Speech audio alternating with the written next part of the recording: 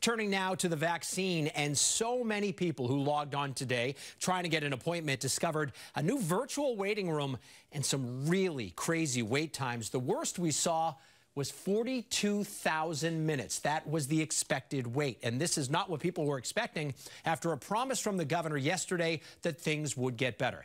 WBZ's Mike LaCrosse is live for us in Danvers tonight. And Mike, another day of problems. David, a lot of disappointed people today. Those 50,000 appointments that were posted this morning went very quickly. And for a lot of people, that new online waiting room was very confusing. My wife's been trying now for a couple weeks uh, and had, you know, has had no luck. David Bookbinder, like many people this morning, found himself in an ever changing and confusing online waiting room. He was trying to book his wife one of the 50,000 vaccination appointments that were posted by the state at 8 a.m.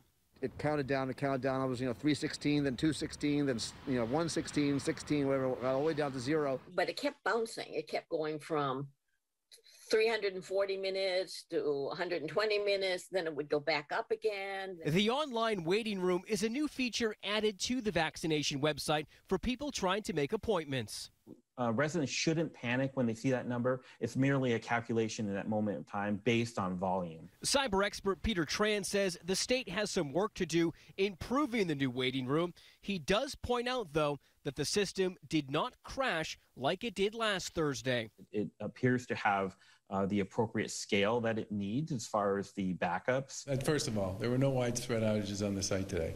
There was a lot of information that showed up on the site that made people deeply unhappy, and that part I get. Governor um, Charlie Baker says the state is making progress on the website, but stresses that they need more vaccine from the feds before they can make more appointments available.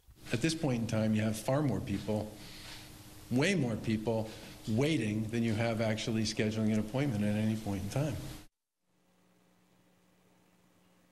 And everyone we spoke with today said they're going to keep trying to find those appointments, and they hope the state makes even more changes to the website before next Thursday. Reporting live in Danvers, I'm Mike LaCrosse, WBZ News. All right, Mike.